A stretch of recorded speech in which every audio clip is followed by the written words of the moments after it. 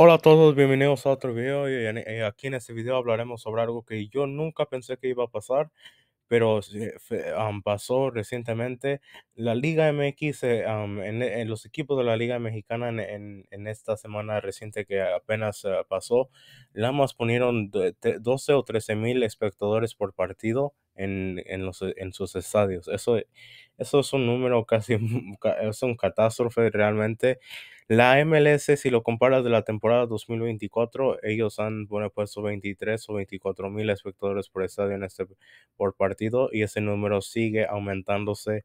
Cuando vemos a la Liga Mexicana, por la apertura 2024, el- los equipos de la Liga Mexicana más han puesto 19 o 18 mil espectadores por eh, partido en los estadios. Eso te dice mucho Am, también no no es de que la liga- los boletos también de, de partidos de la Liga MX se han estado aumentando. Realmente, si vemos por los equipos como el Puebla, como el América, también como son el Cruz Azul y otros equipos, ellos han bajado el precio de sus boletos. Eso, eh, entonces, eso te dice mucho de que la, lo- la afición mexicana ya no quiere, am, ya no quiere invertir mucho en lo que es la Liga MX y también si los ratings en la televisión también se han ca- caído eh, un- una cantidad enorme recientemente. Eso te está diciendo mucho de, que la de que mucha afición mexicana ya está perdiendo su paciencia con la Liga MX. Am, también como los pochos, también como los mexicanos que viven en México, se han estado bajando su interés en la Liga MX y también en el fútbol mexicano y también en la selección mexicana. Y eso te dice de que el fútbol mexicano ahorita está en crisis en términos de negocio y también de calidad. Am, todavía uno puede decir que la Liga MX es mejor que la MLS en términos de calidad y yo creo que también eso no, no se puede dudar. Am, sí, el- el- el- yo creo que sí, ahorita mismo yo creo que el, el América es el mejor equipo en la CONCACAF y también el, el Pachuca es el campeón de la CONCA Champions, entonces eso se dice que la Liga MX todavía está, aún está mejor que la MLS en términos de calidad, pero yo creo que la, la MLS puede presionar ese botón de que, que cuando ellos quieran puedan rebasar a la Liga MX en términos de calidad. Yo creo con, con el contrato de Lionel Messi expirándose la próxima temporada no- o en la temporada 2020 2026, ellos van a presionar ese botón. Yo sé que ellos van a tratar de sacar lo máximo que se pueda de, li- de su- del tiempo de Lionel Messi que tiene en la MLS. Am, sí pueden aumentar, yo creo que van a aumentar el- los lugares de jugadores designados a, desde a 3 a 5. Eso aumentará la calidad aún más. Si, si vemos la, la calidad de los jugadores designados, obviamente tenemos a Lionel Messi, tenemos a Sergio Busquets, tenemos a Jordi Alba.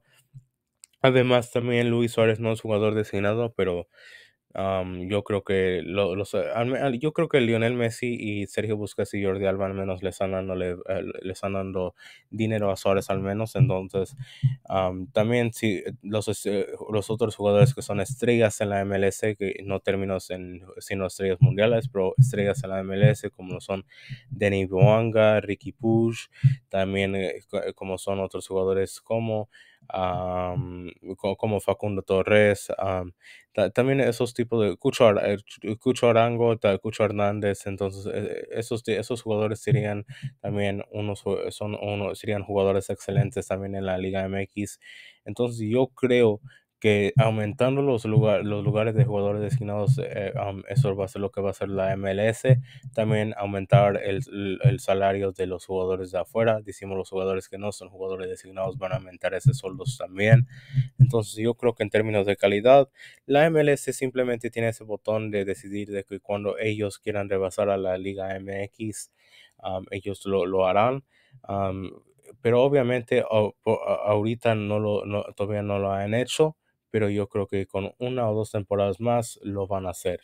Um, y, eh, se- ah, pe- pero al menos por ahora yo creo que en términos de calidad eh, la MLS está haciendo mejor, mejor las cosas que la Liga MX en términos de agarrar a gente que invierta en su pro- producto.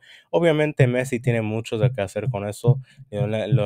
Mucha gente ha estado invirtiendo mucho, su- mucho de su tiempo y de su dinero en la MLS simplemente porque Lionel Messi juega en esa liga.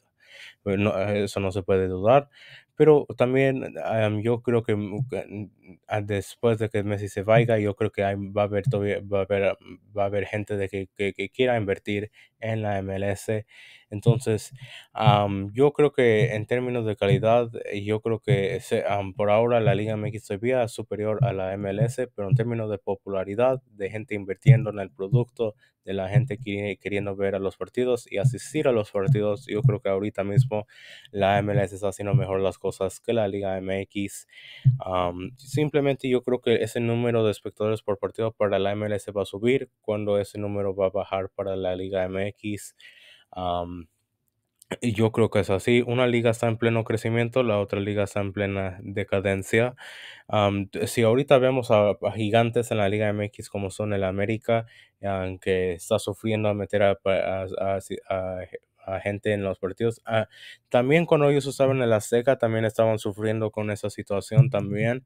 Yo no creo que eso la más sea de que ellos se movieron al Estadio Azul. Obviamente el Estadio Azul, moviéndose al Estadio Azul, ha ha empeora- empeorado las cosas para el América pero yo creo que aunque todavía se subieron en la en el Estadio Seca, todavía están sufriendo allí a, a tener a gente asistiendo a los partidos. Y luego sí vemos al Cruz Azul, que re- ya recientemente también regresaron al Estadio Azul. Am, todavía han estado sufriendo a llevar a gente a sus partidos. Am, si vemos sus- su, recién partido contra las Chivas, la más ponieron a 25 mil espectadores en ese estadio. Am, si, si decimos si hubiese sido un partido más de e- ese partido de Cruz Azul Chivas hace 20 años, a lo mejor se llena el Estadio Azul. Entonces eso te dice mucho de que la, el interés en la Liga MX este, se está bajándose. Eh, entonces eso es todo lo que quiero decir. Gracias a todos por ver este video y nos vemos hasta la próxima. Adiós.